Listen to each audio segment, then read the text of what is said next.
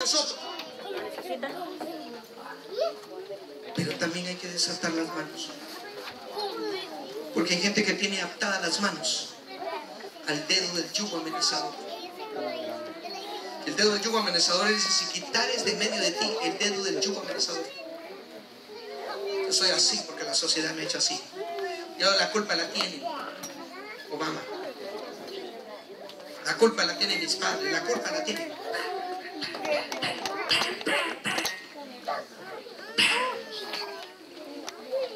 Hay gente que tiene atadas las manos. Y una persona atada las manos puede sembrar. Una persona atada las manos puede cosechar.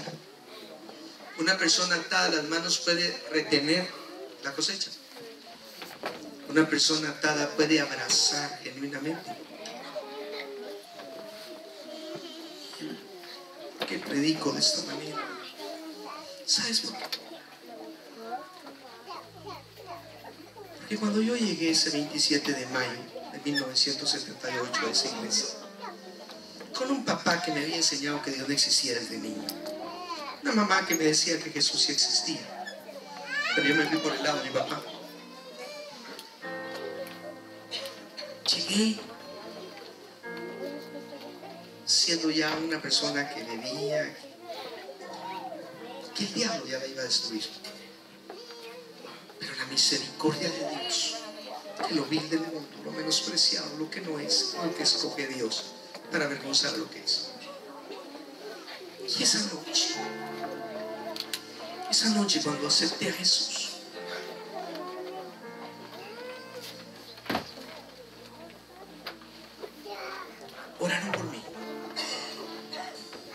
la persona que lo hizo, pastor, ¿me puedes ayudar? Ven, ven para acá. Imagínate que tú fueras yo, ¿ok? Yo voy a ser esa persona. Y entonces yo quiero que te pongas. Cuando yo, esa persona me dijo, hoy tomaste la decisión más hermosa de tu vida. Hoy aceptaste a Jesús como Señor y. Hoy Dios ha echado profundo en el mar todos tus pecados y no se acuerda. Hoy pasas a ser un hijo de Dios. Y terminó diciendo lo que yo me recordé, porque me dijo otras cosas, pero no me recuerdo, pero me dijo, hoy pasas a ser un hijo de Dios. Y si eres hijo de Dios, Dios es tu Padre. Y entonces vino Él y me abrazó. Pero fíjese que yo no podía hacer siquiera, mira el pastor, él todavía levanta un brazo, yo no podía ni siquiera uno. Ven, ven aquí, hermano. Me vas a ayudar, por favor. Yo no podía ni levantar uno. No podía abrazar. Usted va a pero ¿por qué? ¿Pero por qué? Yo no sabía por qué. Yo sentía que nadie me amaba. Yo sentía que no valía. Yo sentía que no lo podía hacer. Y me abrazaron. Baja un poquitito, Leo. Y entonces llegué a mi casa. Acababa de conocer a Jesús, sentí rico. Sentí por primera vez el amor aquí adentro. Llegué a mi casa, le dije, Dios, ahora sí estoy en un problema. Porque por primera vez siento ese amor aquí adentro. Pero ¿por qué lo siento? Pero ¿por qué no puede salir? ¿Por qué no puedo expresar ese amor? ¿Por qué soy así? Porque nunca he sentido que nadie me ama. Yo ahora siento que tú me amas. Pero ¿por qué no sale ese amor? ¿Por qué tengo una coraza? ¿Por qué soy así? Y Dios me habló y me dijo, porque un día tu Padre de la tierra en ignorancia puso su mano así.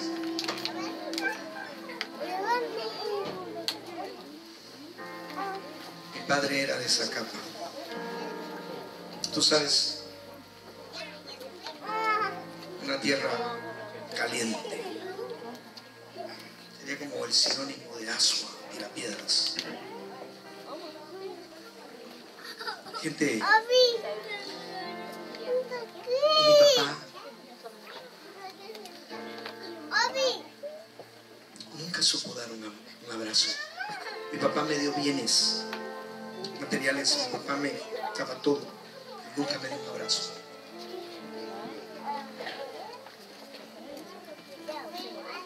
Y cuando yo era un niño de cuatro años, mi papá estaba con otro amigo, un vecino. Ellos se fueron de viaje, regresaron ahora una semana y estábamos jugando nosotros con, con mi amigo, tenía cuatro años. Pero él vio primero a su papá y él le vio, papi. Y él salió, papi. Y agarró a su papá, lo abrazó y el papá lo abrazó y lo cargó y se lo llevó cargando. Entonces yo vi eso, pero mi papá solo me dijo, mijo, ¿cómo estás? ¿Portaste bien? Sí, papi. Pero el niño mira, el niño quiere imitar. Pero yo dije, ¿por qué lo abrazó y a mí no? Entonces se sentó a leer periódico. ¿Tu mamá? Se fue al mercado. Entonces se sentó leyendo periódico y yo dije, ahora que está leyendo periódico, yo me lo voy a acercar y lo voy a abrazar. Niño de cuatro años, a su papá. Y cuando yo me le quise acercar a mi papá, quitó el periódico y hizo así. Un momento, los hombres andan abrazando a los hombres. Y me tiró para atrás. Usted no sabe la marca que en ese momento ocurrió, porque yo decía, mi amigo es hombre, su papá lo cargó. Todo lo que un niño o una niña no entiende se convierte en un trauma. Y un trauma es un golpe que te queda y el cuerpo fue diseñado. Yo tengo una cicatriz aquí y fue diseñado. Todavía se me nota un ladito ahí para, para cicatrizar, pero el alma no cicatriza, el alma guarda. Por eso es lo único que puede sanar esos recuerdos, se llama Jesús.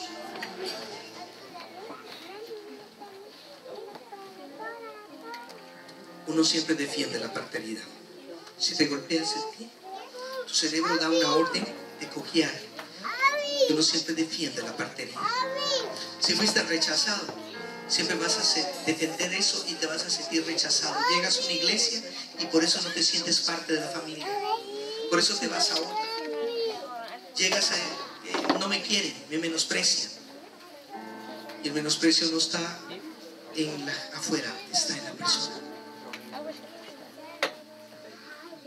Por eso la orden es desatemos. Hermano, eso no lo crea. Esa noche el Señor le dijo, tu Padre de la tierra puso su mano así, pero yo, tu Padre del cielo, mandé a mi Hijo a poner mis los brazos así para recibir. Y yo entendí que a la primera persona que yo le dije que lo amaba era Dios, Padre, y le dije, Padre, te amo. Padre, te amo. Cuando yo decía, Padre, te amo, cadenas se rompían. Cadenas se rompían. Y esa noche yo comencé a ser libre. Podía, podía amar, la gente comenzó a notar que era diferente, pero yo podía amar y abrazar a todos, menos a mi papá. Hace un año, con prueba económica, hasta que el Señor al año me habló y me dijo parte de lo que me pasaba era que yo tenía que ir a pedirle perdón a mi padre porque yo lo había juzgado y condenado. La Biblia dice que lo que tú juzgas a otro, Romanos 2, te condenas a ti mismo. Y yo juzgué a mi padre porque bebía, porque hacía todo eso. Y entonces yo, ¿y sabe qué, qué, qué hice exactamente repitiendo la historia de mi papá? Porque lo que juzga uno se condena a sí mismo. Pero conocía que el que llevó toda culpa, todo castigo y toda condenación se llama Jesús.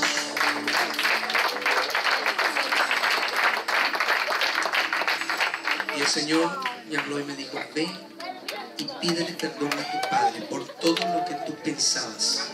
Tú lo odiabas, yo quería que se muriera. Había una voz que me decía, sin Dios, mátalo y mátate.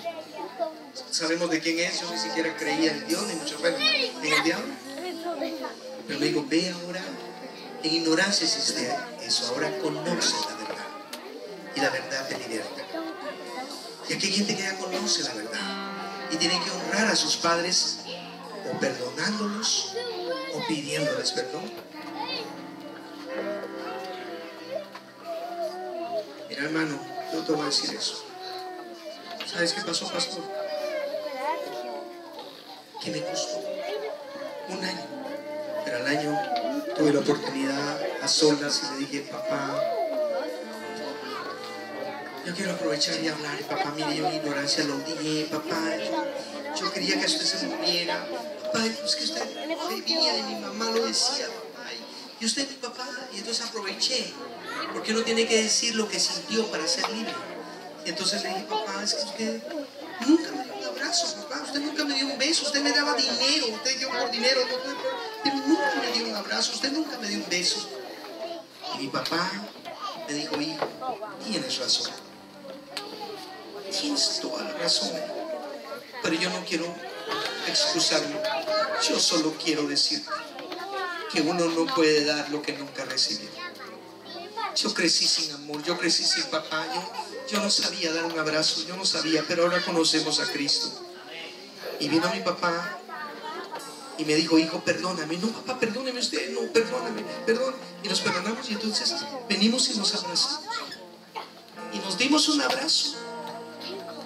Y mi papá me bendijo y me dijo, hijo, al lugar, a todo lugar a donde tú vayas, por primera vez, tú le vas a contar a las personas que Dios nuestro hace volver el corazón de los padres a los hijos y de los hijos a los padres para preparar un pueblo bien dispuesto para la venida del.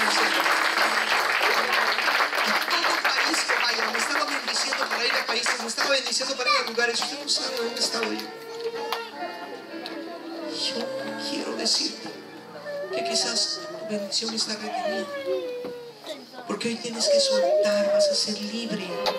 Hay que desatar para venir a Jesús. ¿Me entendió? Quiere levantar sus manos. Yo no sé de qué te quiere desatar Dios. Pero aquí hay personas que no saben abrazar o abrazan más de la cuenta. Desatar las manos esa pobreza, esa miseria, eso que, que siempre se te cae lo que tienes, no te llama la atención. ¿Sabes por qué tus manos pueden ser libres? Porque las de Jesús fueron clavadas y por sus heridas somos sanados. Desatar los pies, desatar tu caminar, a ti que te cuesta, que siempre estás como en, que, no, no avanzas. Hoy se va a desatar tus pies para que puedas tomar y conquistar el lugar, el territorio donde estás desatar tus pies. Pero